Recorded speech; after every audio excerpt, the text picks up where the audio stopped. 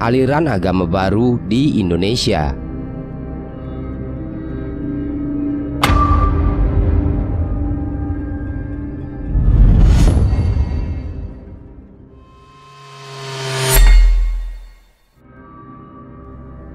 Sekarang ini banyak muncul aliran baru dari berbagai komunitas. Bahkan setiap orang berlomba-lomba mendirikan sebuah komunitas yang kemudian dijadikan aliran baru. Secara global, aliran baru sering muncul dan lebih banyak ada di daratan Cina dan Amerika Latin. Hal ini sudah terjadi beberapa dekade terakhir. Tanpa disadari, Indonesia pun sudah dimasuki oleh aliran baru termasuk di Nusa Tenggara Timur. Seperti yang terjadi belakangan ini, publik digegerkan dengan munculnya kepercayaan baru di Nusa Tenggara Timur. Aliran kepercayaan baru yang muncul ini bernama Gereja Tuhan Yang Maha Kuasa. Diketahui juga bahwa kepercayaan baru ini datang dari Cina dengan sebutan kilat dari timur Aliran kepercayaan baru ini berkembang melalui media sosial dan sudah merambah ke berbagai daerah, termasuk Manggarai dan Manggarai Barat. Dalam keterangan yang diberikan oleh Kepala Kesbangpol Provinsi Nusa Tenggara Timur, yaitu Yohanes Octovinus, aliran kepercayaan baru ini menganggap istri sebagai Tuhan atau mentuhankan istrinya. Di Manggarai, ada kepercayaan gereja Tuhan yang Maha Kuasa itu menyebar dari Cina sana. Dari satu keluarga suami istri begitu yang mentuhankan istrinya. Ujar Octavinus kepada awak media usai rapat membentukkan tim pengawas aliran kepercayaan atau pakem di Aula Kejati Nusa Tenggara Timur. Octavinus menambahkan sang istri dianggap sebagai pengganti Tuhan Yesus yang turun kedua kali di dunia. Menanggapi adanya aliran kepercayaan baru yang dianggap menyimpang tersebut, Octavinus mengatakan bahwa pemerintah kabupaten bersama kepolisian setempat sudah melakukan pendekatan dengan keluarga tersebut dan mengambil semua buku-buku kepercayaannya tersebut. Octavinus juga berharap agar masyarakat tidak mudah tergiur untuk masuk ke dalam kepercayaan yang melenceng. Selain itu, ada juga sekelompok orang yang menganut agama baru bernama agama Muslim, menggegerkan warga Kabupaten Solok, Sumatera Barat. Aliran keagamaan tersebut sebenarnya sudah dirintis sejak tahun 1996 satu kelompok masyarakat di Nagari Sumani, Kecamatan Koto Singkarak, Kabupaten Solok yang menamakan agama muslim ini mengakui Tuhannya adalah Rabi. Rabi bagi mereka berarti yang menciptakan, bukan Allah Subhanahu wa taala.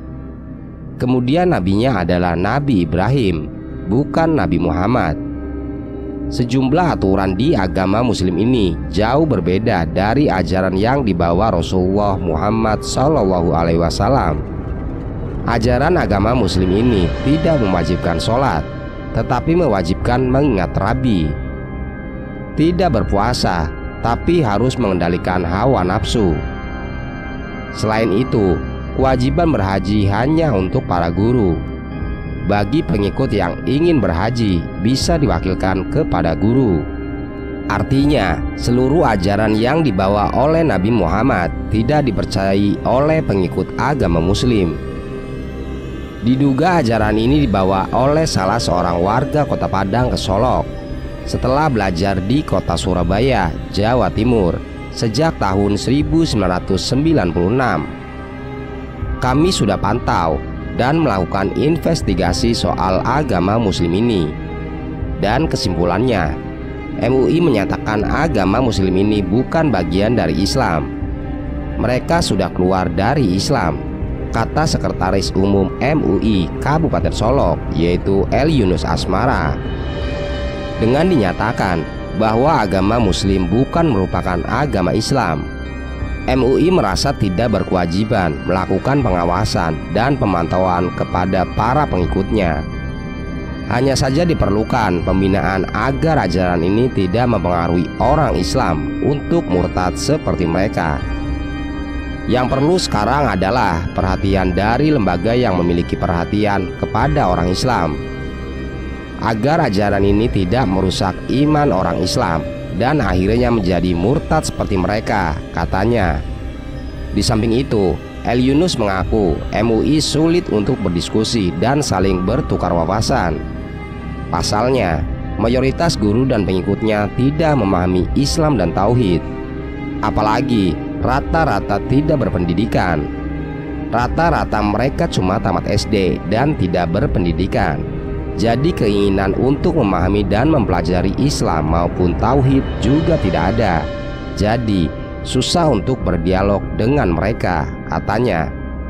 Dari pantauan MUI Kabupaten Solok Jumlah pengikut agama muslim ini berjumlah puluhan orang Yang tersebar di Nagari Sumani, Kotosani, dan Rumbak.